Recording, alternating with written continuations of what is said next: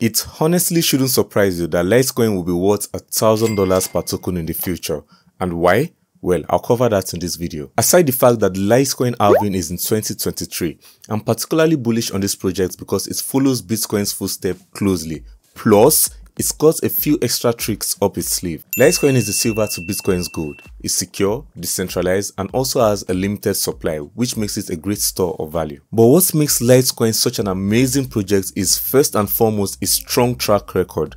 Made over 10 years ago, Litecoin has been up and running with no downtime. This project has consistently ranked in the top cryptocurrencies by market cap and has such a large amount of adoption and use among community members and institutions such as Newegg, PayPal, and so on. Obviously, a key feature of Litecoin that sets it apart from Bitcoin are its faster transaction speeds and cheaper fees, making Litecoin more practical for everyday use. In addition to this, Litecoin has just 84 million coins, which is 4 times more than Bitcoin's 21 million. This means not only is Litecoin more accessible to everyday users, it also acts like a store of value just like Bitcoin. This would help stabilize the price in the long term. And perhaps one of my favorite things about Litecoin is that it's also at the forefront of adopting new technologies. An example of this is in the Mimble Wimble upgrade, which improves its privacy and speed. It should be clear by now that Litecoin has a strong and dedicated team of developers and supporters all around it. Its open source code means this project is going to be around for a long term and it has been tested and trusted by the community and the entire crypto space for over 10 years. That's why I see a lot of long-term potential with Litecoin going up to 100, 500, even a thousand dollars. Thank you so much for watching. I hope you enjoyed this video. Subscribe if you did,